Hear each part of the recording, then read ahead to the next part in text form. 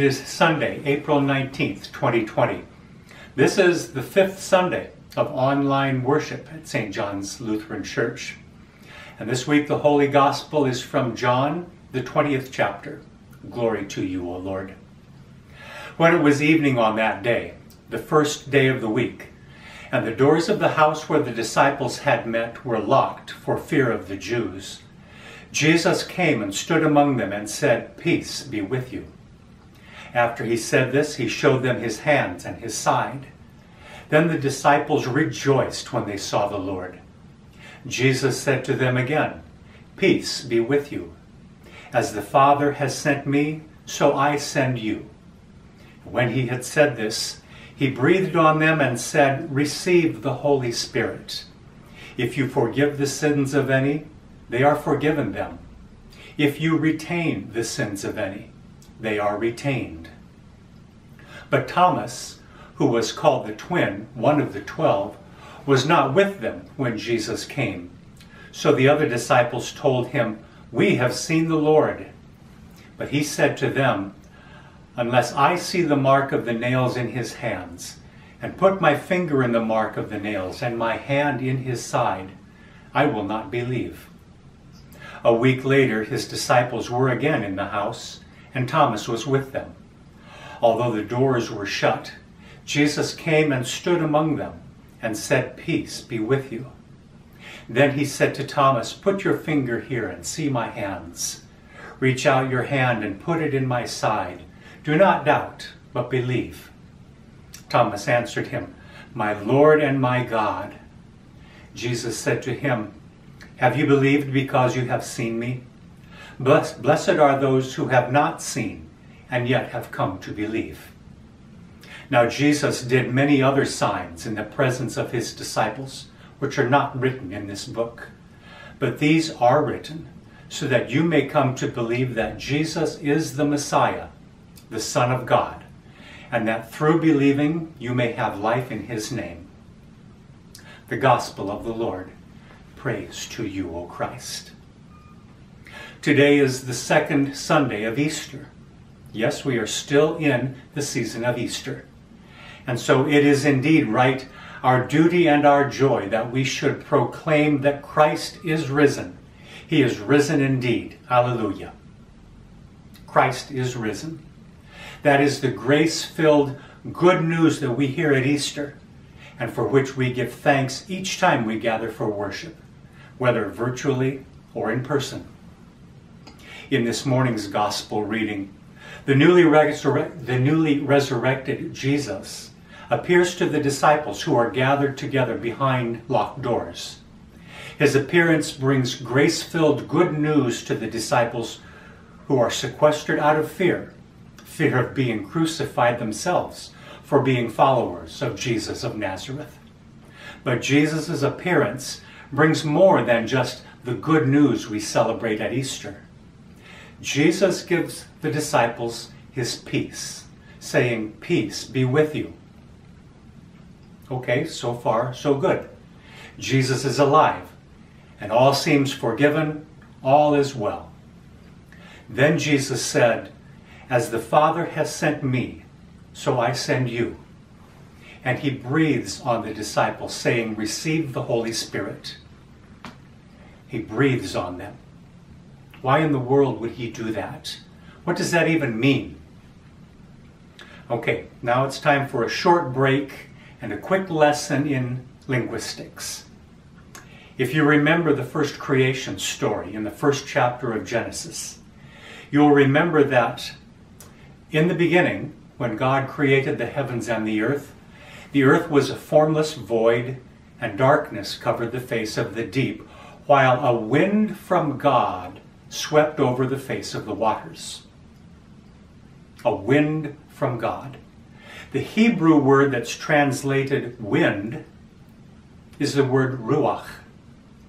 Ruach, which can mean wind or breath or spirit. So in the beginning, a wind from God, the breath of God, the, the spirit of God swept over the face of the waters. Any one of these translations works. So when we read that Jesus breathed on the disciples, think of Jesus, the Son of God, giving to the disciples the breath of God, the Spirit of God, God's own Ruach.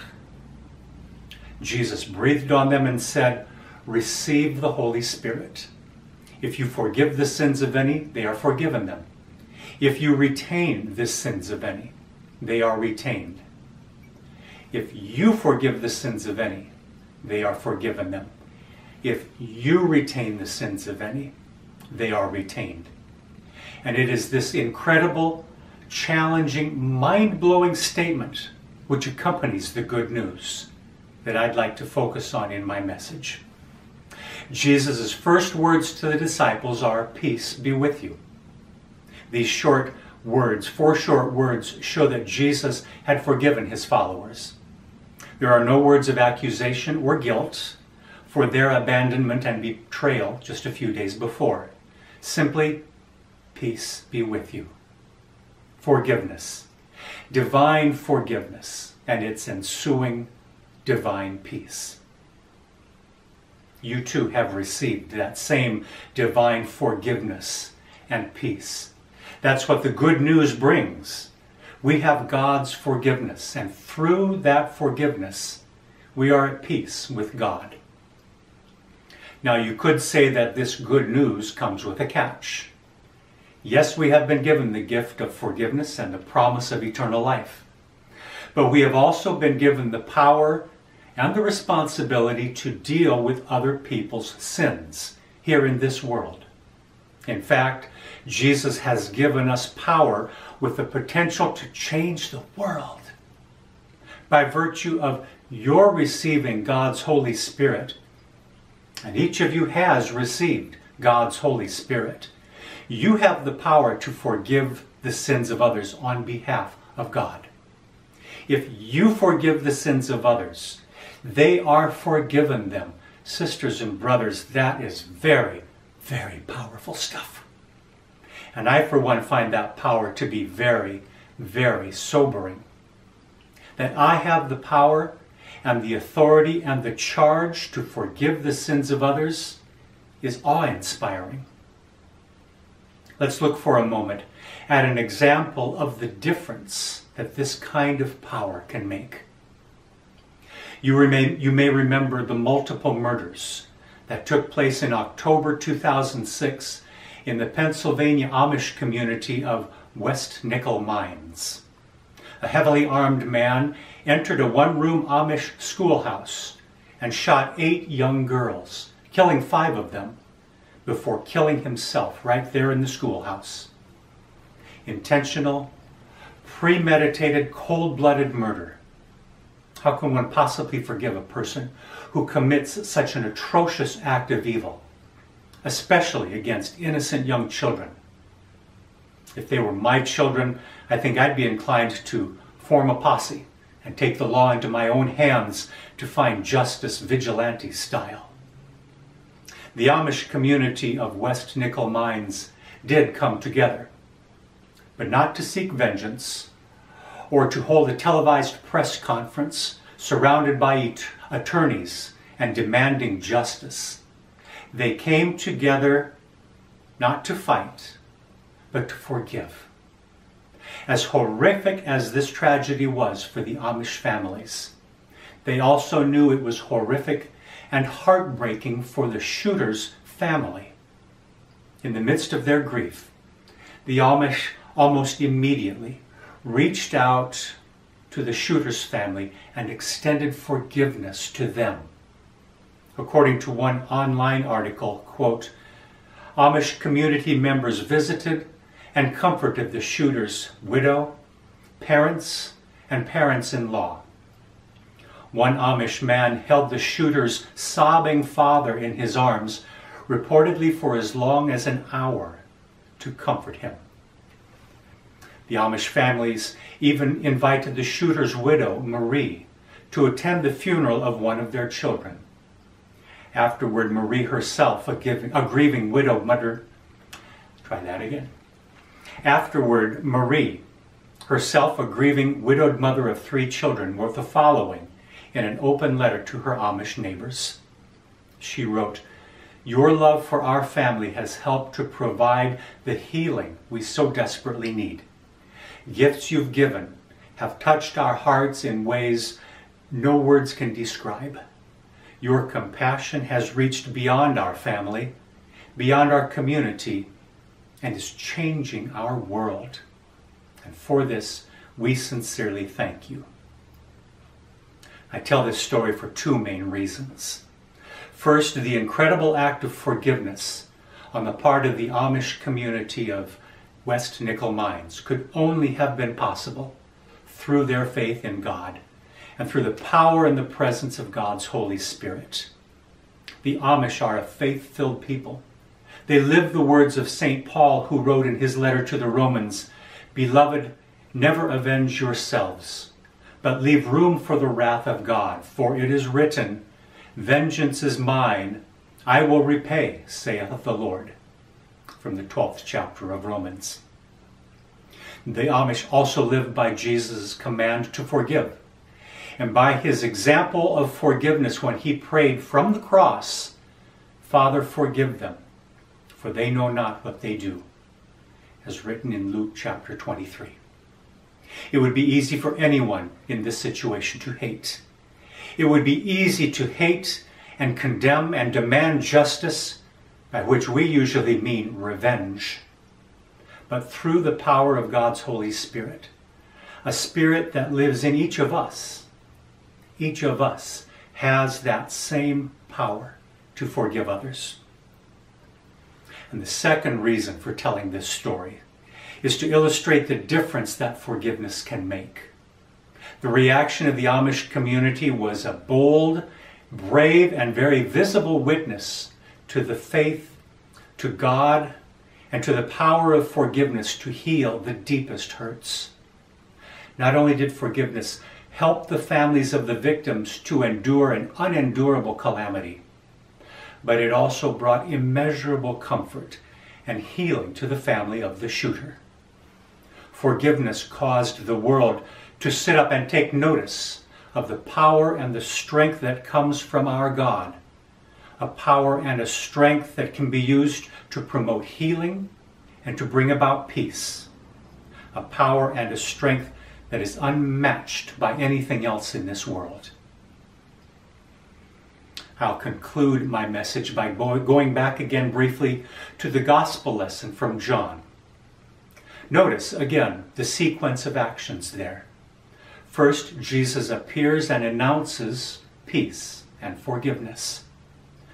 Next, Jesus gives the disciples the Holy Spirit, empowering them for what they will need to do. Only then does Jesus give them their assignment forgive. As the Father sent me, so I send you. And the same is true for us as well. We have received God's peace and forgiveness. As the Gospel of John says in the very first chapter, from his fullness we have all received grace upon grace. We have received the gift of God's Holy Spirit and now Christ sends us into the world with an assignment to go in peace, to love and serve and forgive our neighbor, to love and serve the Lord. Thanks be to God. Amen. Let us pray. Uplifted by the promised hope of healing and resurrection, we join the people of God in all times and places in praying for the church, the world, and all who are in need. Open the doors we close, O God, when we fear those who worship you in different ways. Guide us to unity and harmony so that we may come to respect and cherish our commonalities. Lord, in your mercy, hear our prayer. Open the paths we ignore, O God, when we prioritize financial gain and convenience over listening to the groaning of the earth. Inspire all to care for the world you have made, so that all living things might thrive. Lord, in your mercy, hear our prayer. Open the rooms we lock, O God, to those who live without a homeland or a place of safety. We pray that generous nations may offer refuge and peace for all. Lord, in your mercy, hear our prayer. Open the hearts we close, O God, to the cries of those in pain. We pray for those isolated physically or emotionally through incarceration, addiction, mental illness, chronic suffering, grief, pandemic, and all who are in need. Lord, in your mercy, hear our prayer. Open the ways of love, O God, in the pursuit of peace throughout the world, and bless the efforts of missionaries, healthcare professionals, activists for women and children, and relief workers, especially those who find themselves in harm's way. Lord, in your mercy, hear our prayer. Open the way to eternal life, O God, as we remember those who have died in faith. Free us from the fear of death, that we may embrace the peace you have promised. Lord, in your mercy, hear our prayer. With bold confidence in your love, Almighty God, we place into your eternal care all for whom we pray. Through Christ our Lord. Amen. Our Father, who art in heaven, hallowed be thy name. Thy kingdom come, thy will be done, on earth as it is in heaven. Give us this day our daily bread, and forgive us our trespasses, as we forgive those who trespass against us. And lead us not into temptation, but deliver us from evil. For thine is the kingdom, and the power, and the glory, forever and ever. Amen. Sisters and brothers, may the Lord bless you and keep you. The Lord's face shine on you and be gracious to you. The Lord lift his countenance upon you and give you peace. Amen.